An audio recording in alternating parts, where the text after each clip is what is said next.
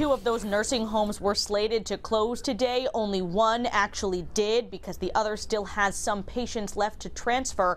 It's been an emotional time for patients and families who got little notice that the nursing homes were shutting down. The signs coming down. The locks changed at Bedford Gardens Care and Rehab Center in New Bedford, officially closed Friday.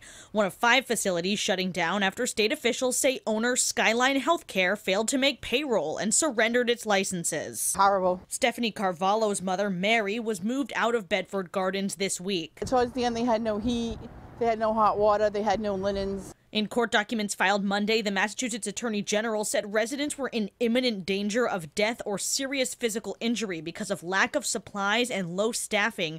Carvalho says that was the case with her 62 year old mom, who was there after a fall.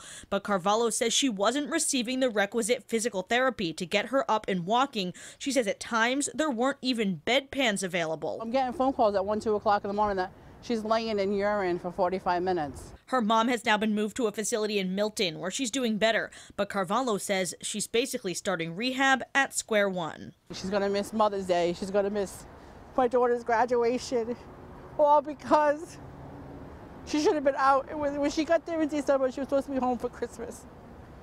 And our attempts to reach Skyline Healthcare for comment since this story first broke have been unsuccessful. A receiver has now taken over the facilities and is focusing on safely transferring patients before the nursing homes shut down. I'm Steph Machado, Eyewitness News.